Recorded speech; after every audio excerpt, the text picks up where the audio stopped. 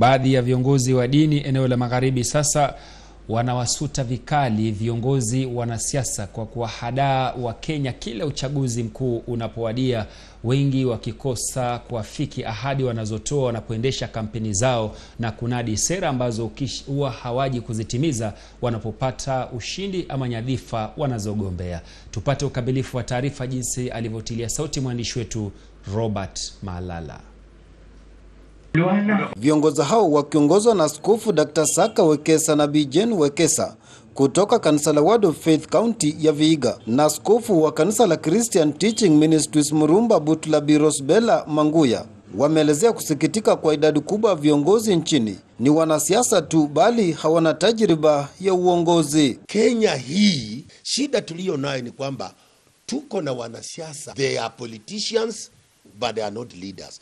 Kwa sababu kama we ni leader na unataka watu waende mahali unaenda, lazima uwapatie rasilimali ya kufika mahali ulipo. Lakini siasa tuliyo nayo, walioko juu wanatakiwa wakae huko, na sisi wanatungojanga tu miaka ikifika tu ile ya kura wanatutembelea na shilingi ishirini ishirini shilingi hamsini hamsini. Wakienda huko hawatutendei yale tunataka, wanasema tuliwapatia pesa hamsini ama leso leso. Mama atakula leso namna gani?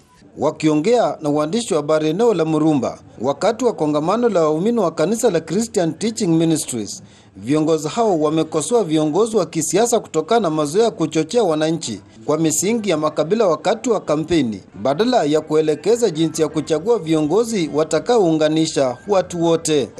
Tunahitaji kiongozi, hatutaki Mluya, hatutaki Mkikuyu, hatutaki Mjaluo, tunataka Mkenya anaweza kuongoza Kenya, not from Luya, not from Kikuyu, not hiyo vitu. Hiyo vitu ni inaitwa political bankruptcy, na ndio tunataka generation mpya ya watu ambao wanafikiria Kenya, hapana machifu ya matribe.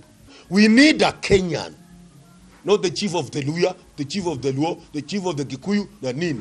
Mimi kitu nashauri viongozi wauze sera, sio sio ya makabila. Aidha, wametoa changamoto kwa wananchi kuwa makini na kuchagua viongozi kutokana na manifesto zao, bali sio kushawishiwa kifedha. Wakenya napatia kwamba msije mkapeana viongozi wenu ile majaribio ya kuwatafutia pesa, kwa sababu wakianza kuwatafutia pesa mutakuwa watetezi wao. Saa hii tunakula, lakini mahali tunaelekea watoto wetu wataumia kwa madeni na kwa shida ambazo tumeweka. A true leader is not about you. It's about the people you are leading.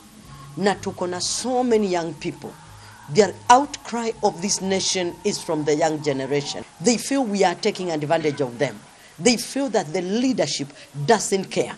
Right now is when we are talking about the young people. But the truth is, we don't have them at heart. We are amassing wealth to ourselves that we may misuse these young brains. Lakini mimi maombi yangu ni, can our leaders be visionary? What kind of a tomorrow are we going to leave behind? Hata hivyo, wamehimiza viongozi wa kidini kuwa na msimamo ili kuelekeza jamii, hasa wanasiasa, kwa manufaa ya wananchi kupata viongozi bora. Sisi watumishi wa Mungu na kanisa ambayo Biblia inasema ya kwamba sisi ni mwangaza, tuko na tunaingia katika mwaka wa campaign wa siasa, tunataka kupika kura, kupiga hiyo kura. Sasa swali ni wewe, kama mtumishi wa Mungu, the light of the world, the salt of the world, it will be very bad you are campaigning for someone, you are lifting someone's name but you have not gone to your knees kujua mapenzi ya Mungu ni nini.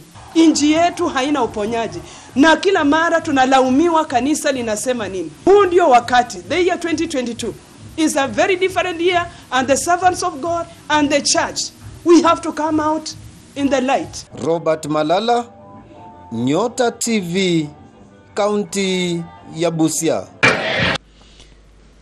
Nasema asante kwa taarifa hiyo. Mtazamaji, ni Nyota Wikendi awamu ya saa tatu usiku.